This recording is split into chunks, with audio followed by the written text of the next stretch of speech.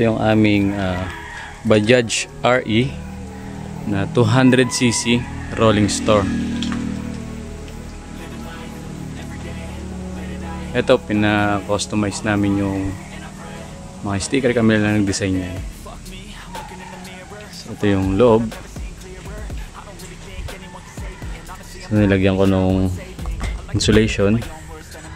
Tapos, additional na ventilador kasi wala namang aircon yan. USB powered. So, yan. Cellphone holder.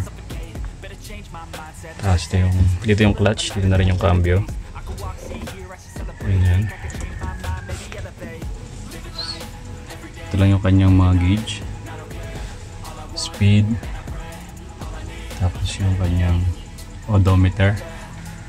Ayan yung gasolina. Neutral. Hazard. Dito, yung bagong design ng Bajaj na 2022 meron ng patungan dito. Ito DIY ko lang to. Kasi masyadong mataas yung gap nung preno niya. Doon sa sahig. So kailangan pang iangat yung paa. So dito naglagay ako ng footrest para madali na mag brake tapos dito yung reverse. Tapos ito nag may baan ako laging pangkalang. If ever na yung kabilang side ay mababa pang level ko yan. Tapos ito yung kanyang kickstart kung maubusan ka ng battery. Pero meron din siyang push button na start wiper tapos ilaw. Ah, high and low tapos left right tapos hazard tapos dito yung kanyang toolbox. Tsaka battery. Tsaka yung spare ng gulong. Tapos meron din akong biniling uh, pang jump start in case of emergency na may kasamang uh, syempre kailangan meron tayong kasamang pump lagi. Baka maplatan. So ito must have yan lalo na sa aming rolling store yung pang jump start. Kasi minsan nadiskarga ako. Ang hirap mag kickstart so dito walang kasamang bintana yung ano na men, ah, pintuan yung binili ko. Pero may nagpapa-customize nyo 4,000 ang isa or 4,500 per pinto. So may kamahalan. So ngayon ito lang muna. Lona. Punta na tayo sa loob so ito yung labas ng aming rolling store.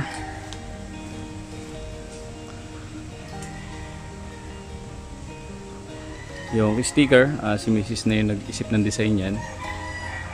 Ito yung mga tapos ito yung sa ngayon nakasetup ako ngayon ng linis. So kung makikita nyo hindi pa yan yung tunay na setup ko kapag na, nasa tindahan na kami.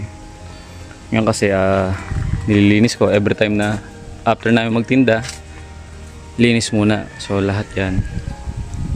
Nililinis natin pati upuan. Binibilad kasi nababasa minsan sa ulan. Ito yung floor natin. Tapos naglagay ako ng insulation sa taas para hindi mainit. To wood din to pero may palaman pa yan na insulation dito. Parang ganito tapos yung ito yung dito ako naglalagay ng menu or announcement uh, board namin. Tapos uh, yung ilaw. Uh, yan. 12 volts yan yung mga ganyan. Tapos yung ito yung ito customized na tong taas. Ako na naglagdag niyan tsaka tatay ko tsaka oh, pati to. Yung mga yan to. Storage sa ilalim. Dagdag na yan. Kasi pag mamaya explain ko sa inyo yung package nung customize kay Moto Central ito yung ilalim ko lahat ng mga gamit din. So hindi ako naglalagay kasi ng pintuan. Siyempre pag uh, nagsiserve na ako dito kailangan less yung time ko sa paghahanap ng gamit. So kailangan pag alam ko na kung saan nakalagay yung kailangan kong gamit, hugot lang dyan, diba lang. Slide to slide lang, uh, madali na. Kasi dito ako nakatayo. Ito yung parang posisyon ko. So lahat marireach ko na Dito naman yung mga aking cup na extra tsaka yung lid.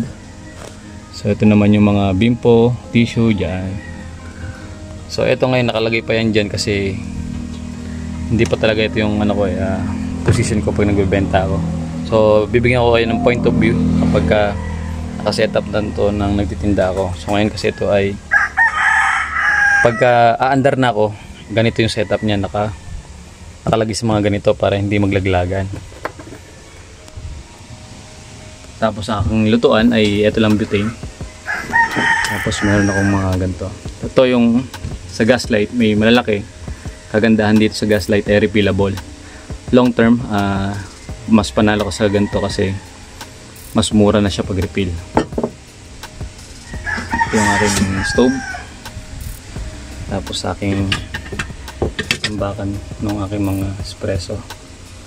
Ito ang nilalagay. Yung rubber mat. So ngayon hindi niyo pa makikita yung itsura. Pag naayos natin, isang ulit sa ilalim. So ayan, may insulation din yung ilalim natin. Lahat ng pwedeng source ng heat kasi dito yung makina sa likod niyan. Naglagay na rin ako ng insulation para hindi mainit dito. Tapos tong kahoy naman eh dagdag na rin ng insulation niya. Kung marami nagtatanong yung power ko. Ito yung aking power source. Yung power mate na 220 uh, at 240S.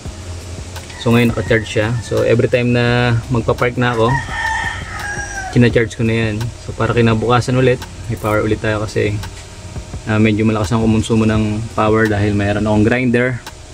Tapos yung mga ilaw ko na 12 volts dyan nakakonect.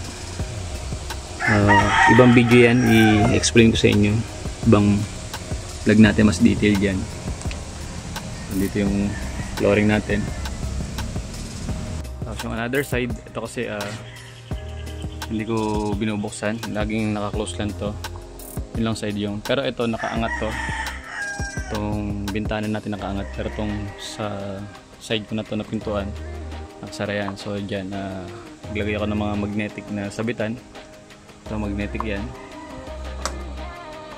So para lahat ng mga gusto kong ma-reach agad ng mabilis, nandyan. Yung coffee filter natin. Kaya ba? Meron. Ayan, coffee filter. Magnetic lang din yan. Magnetic siya. Nakuha ko lang yan sa Japan, Daiso 999. Yung mga wiring yan, uh, ako na lang nag-wiring yan. Nabibili naman sa Lazada yung mga gantong ilaw, 12 volts lang. Explain ko naman sa inyo yung makina niya. Ito ay 2021 model na Bajaj na may 200cc. No, made in India. Pero nabibili yan talaga as a passenger. Tapos, uh, nakaisip lang ako, may nakita kasi ako mga nagro-rolling store. Pero coffee shop, uh, milk tea ang benta. Ako naman, naisip ko uh, rolling store na coffee shop para na iba naman kasi karamihan ng nakita kong rolling store ay milk tea or shawarma, scramble, yung mga ganun. So, ito, uh, yung concept na to, naisip ko, uh, nakita kasi ako sa Europe, usually Italy, mga mahilig sila sa kape na rolling store tsaka Korea and Japan. So doon ko nakuha yung idea. Tapos basically kaya namin gusto ko ring ibenta rin kasi yung produkto namin sa farm. So naka isip kami ng another source of income para sa farm yung aming chocolate ginagawa na naming drinks yung harvest naming tableya uh, yung harvest naming kakao So ito yung video niya kung paano namin ginagawa yung chocolate na yan. Yun ay talagang product from the farm, pati yung aming dragon fruit. Ito ay talagang product from the farm namin yan, dragon fruit soda. Yung coffee ay additional na lang namin yan dahil ang una ko talagang business noon nung nasa Makati pa ako ay nagbebenta ako ng ground coffee and beans So dahil alam ko na yung source saan bumibili ng kape, uh, nag-isip na kami na mag-expand into a coffee shop na. and mobile coffee shop ang naisip namin dahil ah, ikaw yung lalapit sa customer, ikaw maghahanap ng magandang area. Ito, uh, naghahanap kami ng tourist spot dito within Laguna or Quezon. So ngayon, may maganda kaming location na napupwestuhan sa Kamay ni Jesus, sa Lokban or sa doon sa dito naman sa San Pablo ay yung lake. Doon kami napwesto. O ngayon, ah, consistent naman kami doon. Kaya kilala na kami ng aming customer. At maraming natutuwa sa aming mobile coffee shop. Maraming nagpipicture, maraming nagtatanong ng concept. So kay Moto Central namin nabili yan. Ah, umabot ako ng total na 265 kasama na yung customization tapos kasama rin yun sa monthly amortization ko yung ah, pagka-customize niyan eh kasama na rin sa hinuhulugan ko Ah, package na yun kay Moto Central. Ah, nag-down ako ng 50,000 so within 2 years ang monthly ko ay ah, 8,970 8,970 na yun 2 years yun. Ah, pero pwede ding mas bumaba yun kung gusto mong 3 years to pay. Meron kasi kaya lang pag nag 3 years to pay na mas syempre tataas yung interest. Long term mas malaging malaki yung total niyang cost mo. So akin umabot ng 265 din 2 years 50k down payment 8,970 yung monthly. Tuk-tuk pa lang yon so iba pa yung gamit natin sa loob. Iba pa yung mga syempre yung mga ibang expenses natin katulad ng mga upuan power mo yung equipment mo panggawa ng coffee syempre lahat ng mga dapat i-cost grinder. Marami yan so iba pa yung mga expenses na yun. Etong power mate medyo may kamahalan ng bili ko dyan.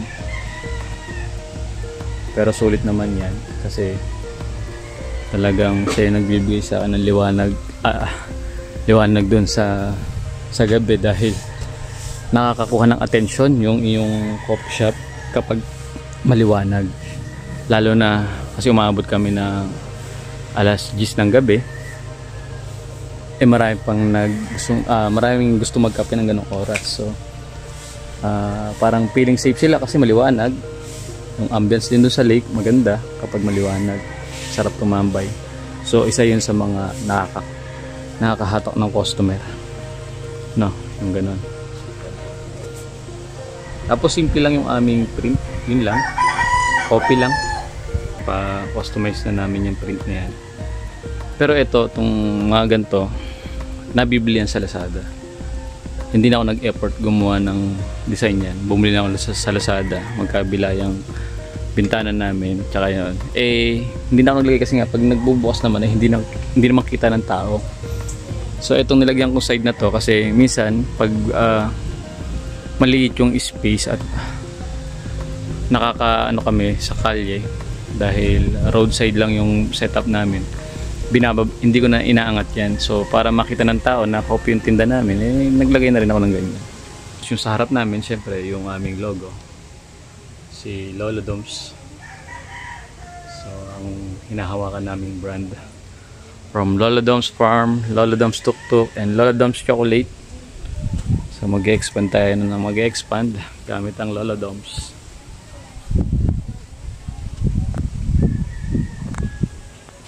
So, papakita ko sa inyo yung aking setup pag naka park na ako sa lake at nagtitinda. So, makikita nyo yung actual namin na location, position, tsaka yung point of view ko dun sa loob kapag ako nag-start na magtinda. Okay?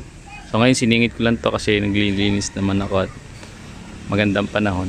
So, dito kami ngayon sa Laguna sa pagka gantong walang event sa Lokban. Dito ako sa biyanan ko sa San Pablo. Dito kami nag-aayos. Kasi doon mas maraming tao sa lake. Ah, napakadami ng turista sa lake. Kaya gantong panahon per month dahil may pailaw. So doon kami pumipwesto. Tapos bandang summer may balik ulit ng Lokban kasi yung pahiyas. Yun yung event namin doon. So, ito na. Ito na yung aking fully setup na bar na mobile. So, ito yung aking point of view kapag uh, dito ako nakatayo na sa loob. So, dito yung aking grinder. Yung mga coffee, utensil, mga pang mix natin sa ating drinks, dragon fruit, yung ating aeropress, pang prop, pang Vietnamese, pang brood, pang brood natin to. Tapos ito yung pang espresso extract natin. Uh, yung chocolate natin na gawa sa tableya. Mm, ngayon nakababa to kasi medyo maulan. Wala siyang door kasi gusto ko accessible agad. Lahat dito ang laman ng ibabaw yung mga pangrista ko ng cups lids tissue yeah, butane tapos mga power bank ko tsaka yung aking mga pang vlog yan yung laman yan. Tapos, ito yung pinaka prep area ko. Dito ako nagpe-prep ng drinks. Ito naman yung aking cleaning area. Ito, naglilinis ng mga aking pinagtimplahan. Magamit itong mga brush, alcohol, and then syempre yung water source natin. Ito, electric. Tapos ito yung diretso yung kanyang basurahan So, medyo madilim. Tara, maglagay tayo ng ilaw.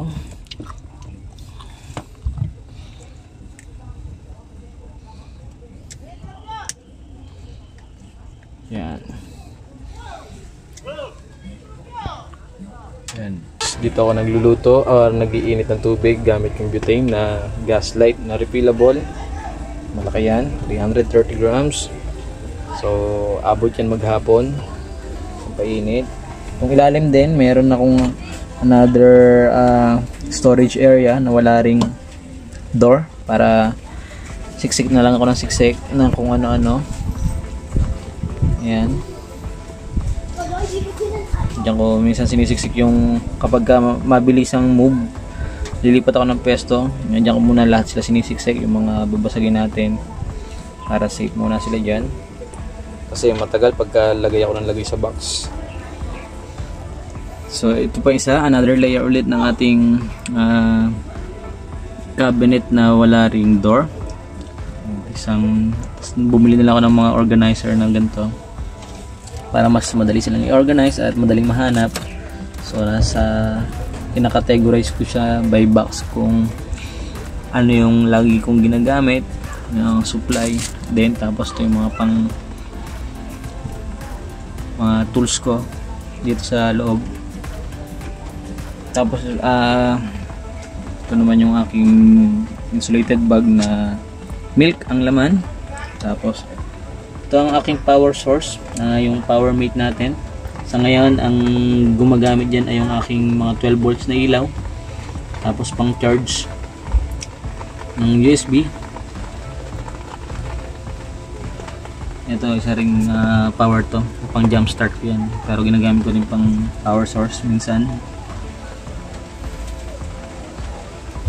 So dito yung aking space. Uh, one person lang talaga yung kasya dito. So pag nag-add pa ako ng tao, nako, sikip na. Kaya ang binibenta ko lang ay coffee kasi nga medyo mahirap kapag dumadami na yung menu mo sisikip na rin dito. At hindi na kaya ko saan pa. O, katulad yan maulan. So kawawa naman yung magluluto kung dito ko papapapwestuhin di ba? O, siguro in the future pag nag-expand kami ng aming mobile shop uh, baka magkaroon tayo ng mga ganun menu so ito uh, naglagay din ako ng aking saucepan dito ito yung aking mga menu uh, dyan ako naglalagay ng announcement or menu pero meron din ako na mga magnetized na menu sa labas kasi dahil baka lang ating tuktok Tsaka madaling makita ng customer pag nasa labas. Siyempre, huwag kalimutang mag-like and subscribe sa aming Facebook account. Siyempre, Gcash, kailangan yan para convenient sa mga customer. Wala silang pambayad na dala. Ito yung nakahiwalay ito kasi ito, ano lang to eh, seasonal. So kaya sa hindi pa nakatikim ng ating dragon fruit, malapit na. So baka last batch na to at maubos na yung ating stock dahil tapos na ang season. Tsaka yung mga na-frozen natin ay paubos na rin. Lakas ng demand yan eh. Kaya tikman nyo na, pati yung tsokolate natin, kagagawa lang natin ng tableya. Ayan, yan lang lahat. Ito yung aking ilaw, 12 volts. Tapos ito naman ay USB. Tapos yung ating power bank, ah, magnetized. Naglagay ako ng mga magnet sa mga likod ng power bank natin para madaling idikit. Ito pa yung nating ilaw. Ah, sa gabi mamaya papakita ko rin sa inyo yung itsura na ito sa gabi. Meron din tayo ng red na ilaw na LED panghatak ng customer. Kailangan talaga maliwanag sa gabi dito para ma, ma maka-attract ka ng customer at may upuan, tambayan. Pero ngayon, sus! Tingnan nyo naman, sobrang ulan. So yun ang problema dito sa mga mobile. Pag maulan, wala tayo gaanong customer kasi wala silang mapapwesto, walang masisilungan. Pero ito yung view ko today. So yan, mga nakahilera kami dyan, puro yan, puro mobile cart yan nandyan. Ito dinire-diretso nila. So ito yung night setup ko naman.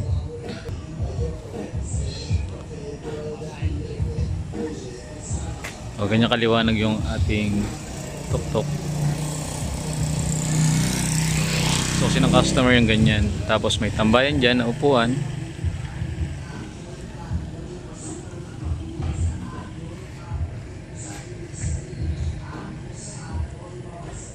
Ito naglagay ako ng ilaw na flashlight para kahit malayo eh kita na yung coffee sign natin. So doon yung area ng pasok ng tao. So may pailaw dun sa lake oh. Saktong sakto oh. Ito yung pinupuntahan ng tao. Dito ngayon dry run yung pailaw nila sa lake. Susunod na linggo uh, magga grand opening na sila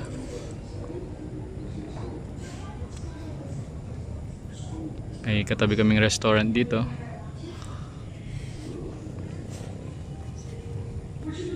Yan yung aming coffee shop sa malayo, ganyan kaliwanag. Diba? Kitang kita siya.